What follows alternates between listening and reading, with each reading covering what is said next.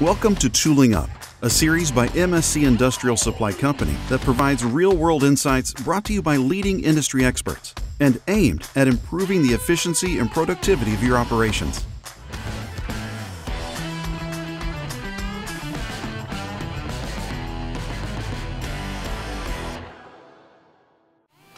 Hey everybody, this is Eddie with MSC and welcome to MSC's Tooling Up featuring Haimer.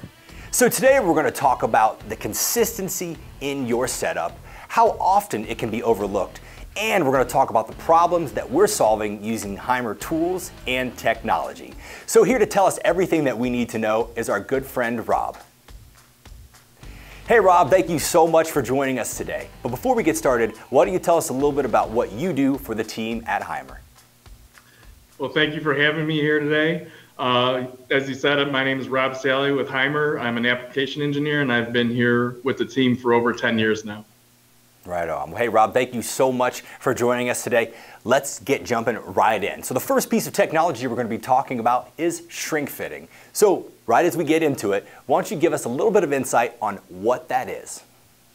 So, shrink fit is a tool holding system that utilizes the thermal expansion of steel the bores of the shrink fit holder extensions or even shrink fit collets are slightly smaller than the shank of the cutting tools. When we heat up the tool, it expands. We are able to slide a tool in, and as the holder itself cools down, it retracts and grips uh, 360 degrees around the tool. No, this is great to know. And now that we're familiar with shrink fitting, tell us why it's so important. Um, it's important, beneficial, it's fast. So we use induction heat technology to heat the holder within five seconds, and then the tool is able to slide in, and we've got a couple seconds to, to push it up and down depending on, on the length we need it. And then as it cools, uh, it retracts around the tool, and we complete the cooling process with our contact cooling system that takes about 30 seconds to a minute. So tool change, five seconds, cooling down, 30 seconds to a minute. Now, these are all good things. We appreciate you highlighting those options. And of course, this isn't the only method, if you will. So really, what issues can arise from other holding options? So with a couple other holding options or friction fit options, you, are not going to have as strong of a gripping torque as you would with a shrink fit chuck. So you could have the possibility of a tool coming out on you or micro creeping. Uh, other methods, like let's say you have a set screw holding a tool in place, that set screw kind of pushes the tool off center, which creates run out, which diminishes tool life and surface finish. Uh, you know, another advantage that, that I forgot to mention about shrink fit is that we offer many holders with slim noses so you can get down into deep pockets or cavities, hard to reach areas where with other systems you might be limited uh, on reach and also the size. Some holders are bulky. Um, in shrink fit, we have holders that are designed for all applications so we can uh, do finishing work all the way up to heavy duty roughing with, with shrink fit holders. And our system's not proprietary. So there are some systems that require you to only use one company's product.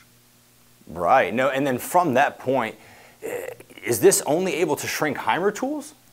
We can shrink any manufacturer's shrink fit holder on all of our machines. Very good, very good. Wonderful to know that you have that compatibility across you know a variety of different tool brands. So good information. So now that we know a little bit about shrink fitting, it looks like the next step in that process would be the presetting. What do we need to know about this? So a presetting is taking a tool assembly, clamping it into our Haimer microset uh, presetter, and measuring with an optical camera gauge lengths, radius, diameters, uh, amongst other things as well, but it's done offline. No, absolutely. And so now that we're a little bit more familiar with that presetting, why is it so important for operators to know about this?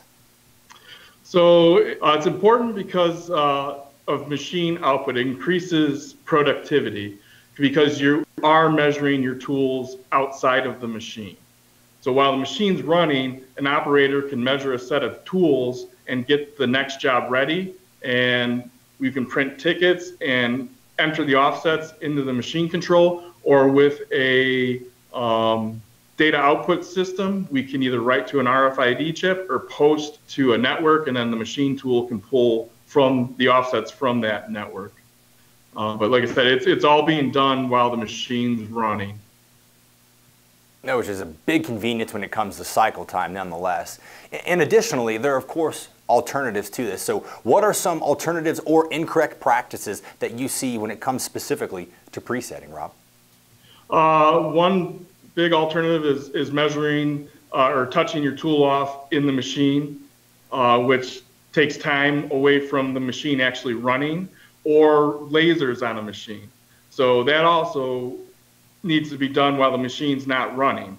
So it takes away time and, and output of the actual machine. Another thing with lasers, you need one for every machine. Whereas a tool presetter can handle 10, 20, 30 uh, machine tools with, with just one presetting unit.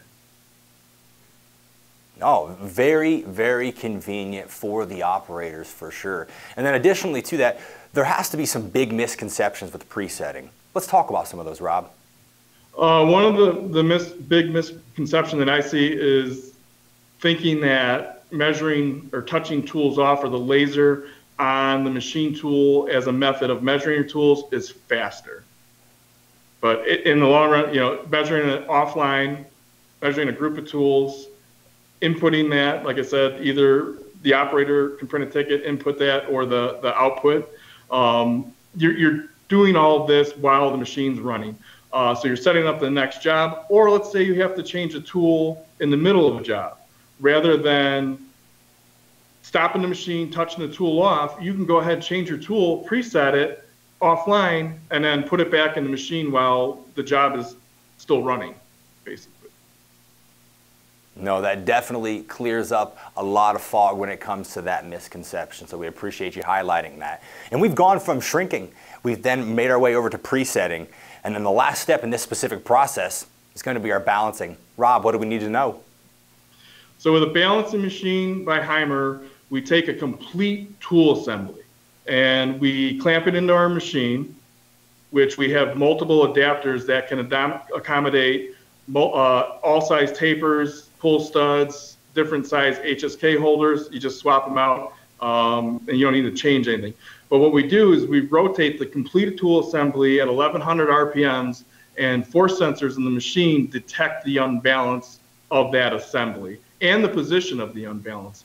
So once that's determined, the software on the balancing machine will then tell us how to make a correction based on our preference or, or the method we choose to do, the, to do the correction. Some of the methods include uh, hard balancing, which is drilling or milling to remove material on the heavy side. Adding weight, we have a weighted screw system, and all of our tap or all of our shrink fit holders will have tap holes in them that we can add a weighted screw where it tells us on the opposite side of that unbalance. And then another version is rings where we kind of rotate or shift the mass of the rings opposite of the, the heavy position. No, this is a great visual for all of the viewers checking out this episode. And then now that we know a little bit about balancing, why does it matter?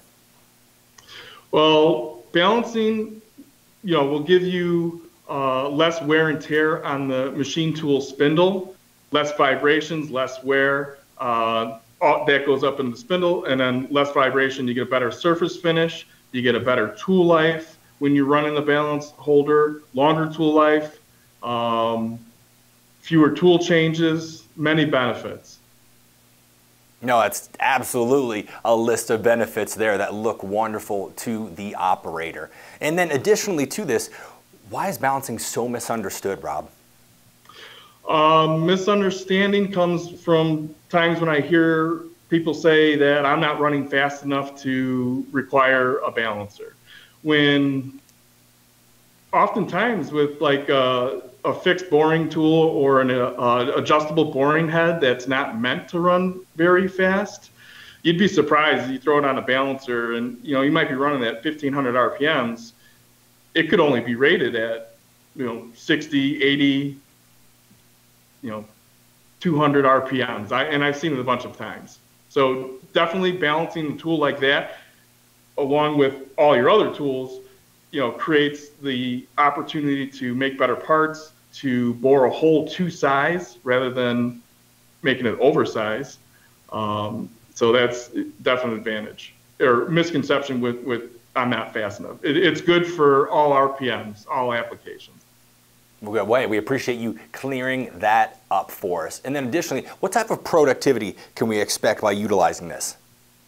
So by utilizing a balancing machine, you know all of your assemblies that you're putting into the machine are balanced.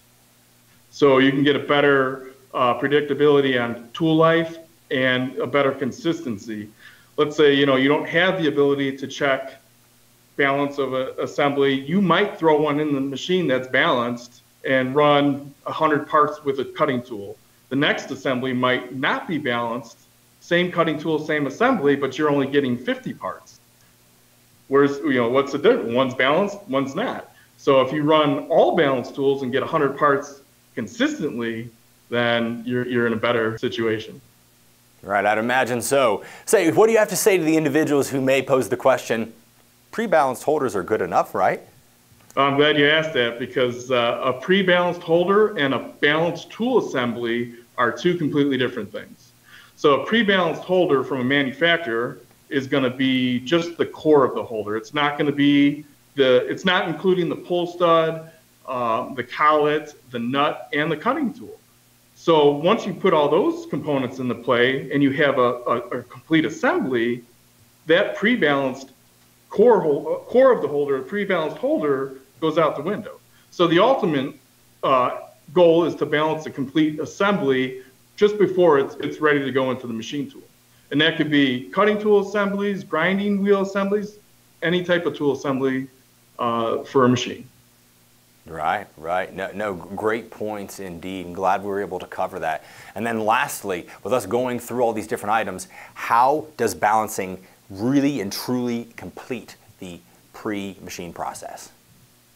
So one thing I, you know I didn't touch on, or like to, to add into that is um, balance versus unbalance. So if you have a, a machine and, and it start you start to experience chatter or vibration, the operator what they normally do is they'll they'll dial the machine down or back off the, the speeds and feeds. And the reason they'd have to do that is because their holder or their assembly is unbalanced. So if you balance your all of your assemblies going in the machine, you can run them at the, the intended speeds and feeds for the job. But what you can also do is probably increase those from what you normally or what you have them set at to begin with. So you're actually going to run faster, um, higher output of the machine. Higher output of the machine. That is what it's all about. So really great way to put that point there. And really when it comes down to it, Rob, we've covered the shrink fit. We then transitioned over to presetting and we wrapped up that pre-machine process with our balancing. So as we wrap up this episode, are there any other final points you'd like to make for all of our viewers checking out this episode today?